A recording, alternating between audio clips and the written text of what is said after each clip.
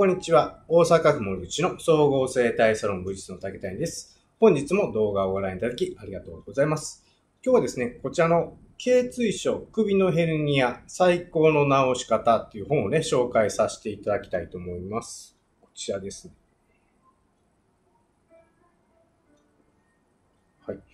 と、今回もですね、ノープランでやっていきますので、えー、ご了承ください。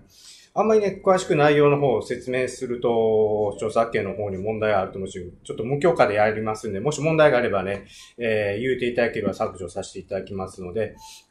で、あと、これなんで紹介させていただくかというと、もう、もう単純にすごくわかりやすくていい本やなと思ったんで、紹介させていただきます。で、わざわざね、検索する必要もないように、下の概要欄にですね、リンクの方を貼っておきますので、えー、1450円プラス税なんで、まあ、1500円ぐらい、1500、600円ぐらいですね。あの、すごく、まあ、そんなにね、あのまあ、安いというのか高いというのはわからないですけども、まあ、本としてはまあ、通ぐらいの値段ですし、えー、ぜひね、勉強にはなりますんで、えー、買って読んでいただけるといいかなと思いますね。様々な疑問とかね、不安とかで抱えてはると思うんで、まあちょっとね、自分自身のお体勉強するにはすごくいい本ではあるかなと思って、今回紹介させていただくことにしました。えー、まずですね、あの、ここに書いてる通り、えー、これ何の特徴があるかというと、ここですね、専門医が本音で回答ということで、あの、問題形式になっているんですね。ある問題に対して、えー、専門医がその答えを回答していくというパターンになります。これが、ちょっとね、これいいなと思って、他にもね、例えばこんなん買ってます。えー、例えば股関節とか、腰ですね。まあ他にもいろいろ出てるんですけども、徐々にね、僕も買っていこうと思っています。で、これ、多分かなり長くなると思うんで、えー、何回かに分けてお話しさせていこうと、させていただこうと思います。で、どういうふうに紹介するかと思うんですけど、まず、目次ぐらいはね、読んでいっても問題ないかなと思いますんで、この、できれば134問の目次ですね、全部えー、紹介してやっていこうかなと思います。本当に要所要所ね、えー、どんなことが書いてるかというのもね、お話しさせていただいて、えー、ぜひですね、あの、興味持たれた方は、えー、ご購入いただいたら方がいいかなと、本当に悩まれてる方は自分自身の体の勉強するのというのはね、すごくいいことやと思いますんで、えー、参考にしていただければと思います。と、まずはじめにというところですね。えー、首は人間の急所と言われています。本当にその通りですね。まあ、そのようなことでいろいろ書かれております。首を、ま、えー、痛みを招く主な病気、椎間板ヘルニア、頸椎症、えー、頸椎甲状靭帯骨化症、無中知症、えー、頸部中、頸部、えー、脊柱管狭窄症などがありますよ。と、まあ、他にもね、いろいろありますよ。ということが書かれておりますね。で、まず、もう早速ですね、あの、本題の方いきます。第1章、首のに痛みについての疑問6ですね。1番、首の痛みに悩まされています。放置してはまずいですか？ということですね。えっと、ざっとだけ、えー、一説によると日本人の約70%が一週、一生のうちの首の、一生のうちに首の痛みを経験すると言われています。ということですね。で、首の痛みにはどういうことがあるかとか、病名とかね、いろいろ書かれております。で、高齢になるほど、え2番ですね。高齢になるほど、え、首が痛みやすくなるのですか？という問題に対して、うーん、そうですね。中高年を過ぎると必然的に首の痛みが現れやすくなりますとかですね。まあその他いろいろ、若い人でも、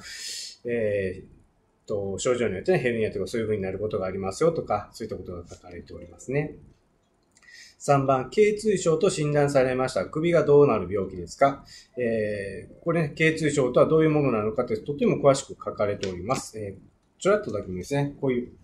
イラスト、ちらっとだけにしておきます。えー、書かれておりまして、すごく、まあ、これを見ていただくと、頸椎症というのはどういうものなのかとか、わかりやすいですね。で、首を動か、4番、首を動かすと手が痺れるのですが、これも頸椎症でしょうか？ということですね。うーん。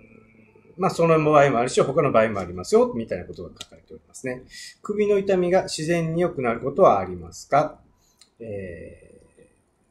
ーと、ある、治る場合もあるし、治らない場合もありますよ、ということですね。それはあくまでもやっぱり、その病態によって変わりますということが書かれておりますね。まあ、それに詳しいことはね、ぜひ本を買うていただければと思っております。頸椎症は遺伝と関係がありますか？とかも書かれておりますね。はい。もう次ですね、いきます。第2章。首の痛みを招く原因についての疑問17。7番、首が痛む原因には主に何がありますか？ということですね。と、まあ、いろいろ書かれております。これは病名というよりも、まあ、例えば、年齢によるものであったりとかね、外傷、つまり怪我とかですね、そういったものとか、炎症であったり、腫瘍とかですね、そういったもので痛むことがありますよ、ということが書かれております。で、首が痛む原因はどうすればわかりますか？えー、首の痛みや手の痺れを自覚したら整形外科で検査をしてください。これごもっともですね。あのー、見ていただいた方、もし、まだね、あの、病院とかで検査されてない方はもうぜひですね、やっぱり整形外科で検査を受けてもらうことがやっぱり大事ですよね。で、レントゲン検査、MRI、CT などの、えー、画像検査を受ければ、頸椎異常が定期化に映し出されます。で、必要に応じて血液検査を、えー、受けることによって、細菌感染や、えー、関節リウマチの有無もわかりますということですね。そういったことがありますので、えー、ほったらかしにせずにですね、まずは病院で見ていただくということはもうやっぱりすごく大事になると思いますんでね、見ていただけたら。まあ、この時ね、あの、ごめんなさい。あの、初めての時とかはね、やっぱりね、例えばうちみたいな生体院であったり、カイロプラクティとか、整骨院とかじゃなくて、やっぱり整形科ですね。整形科っていうんで、ちゃんとレントゲンとか、そういう画像診断をしてもらって、医師の診断を受けていただくっていうのが非常に大事だと思います。これね、あの、決してですね、気軽に生体とかね、整骨院とか行かん方がいいと思います。まずは整形科医師の診断を受けていただくっていうのは、とてもいいことだと思いますね。はい、次、9番。頸椎症性心筋梗症とはどんな病気ですか？これもね、えー、いろいろとても詳しく書かれております。えっと、イラスト、チャットだけど、こんなイラストをね、書いて、わかりやすく説明されております。10番、そもそも神経根とは何ですか？そうですね、頸椎症性神経根症と言われてる名前が出るんですね。神経根とはそもそも何なんやと。いうこともね、こちらの方書いています。神経、え頸椎症を発生しやす、発症ですね、発症しやすい頸椎の部位はどこですか？え12番、頸椎症性脊髄症と言われました。どんな病気ですか？えこれもね、とても詳しく書いております。ここにイラストが書いてますね。で、脊髄症となると本当に、うーん、大変な病気になっちゃいます。と、ちらっとだけ大事なことなんでね、読まさせてもらいます。首、肩、腕、手だけでなく腰から足にかけて広範囲に症状が現れるようになります。また、神経根症状では左右片側の腕や手に症状が現れますが、脊髄症では両側に現れるケースが多く見られます。しかも、脊髄症で手のしび、手にしびれが現れると、えー、手指、手の指ですね、を思うように動かせなくなるため、箸を使いづらくなったり、文字を書きにくくなったりすることがあります。ということなんですね。だから、あのー、頸椎症と、頸椎症性神経根症と頸椎症性脊髄症というのは、ある意味全く別物でですね、脊髄症、脊髄症となると、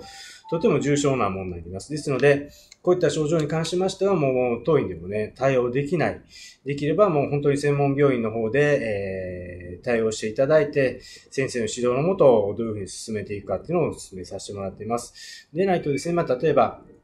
当院だけではなく、まあ、鍼灸でも整骨院でも生体回路で行ってですね、手術嫌やからといって長引かして、結果的にですね、あのー、神経症状よりひどくなって、えー、手術結果的にしなあかんようになったわ、とか言ったらも最初からやっとった方がよかったよねってなることもあるし、えー、あとあとですね、もうひどくなってからですと、もう、あの、麻痺がね、改善しないとか、そういうことも出てくることもありますので、やっぱりですね、こういった症状が出る場合は、もう必ずですね、えー、専門医、え、正規がですね、相談させて、してもらう。で、それでダメな場合は、えー、セカンドオピニオンとかもね、行ってもらったりとか、脊髄の専門の病院とかもね、最近は、あの、あります。大阪でもね、えー、何件かありますので、そういったところで相談するというのもね、必要になってくると思います。決してですね、脊髄症は本当に舐めないでくださいね。あの、手術嫌やっていう気持ちもわかりますけども、えー、もしね、あの、生体院とか行かれるようでしたら、専門医と並行してね、進めていくっていうことをね、考えてやっていた方がいいかなと思います。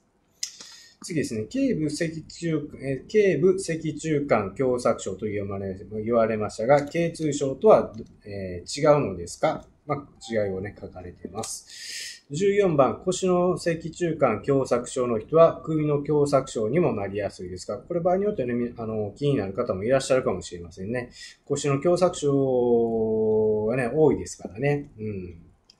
まあ、そのことについても書かれております。15番、頸椎椎間板ヘルニアとはどのような病気ですか？ということですね。で、あと、こちらの方に、え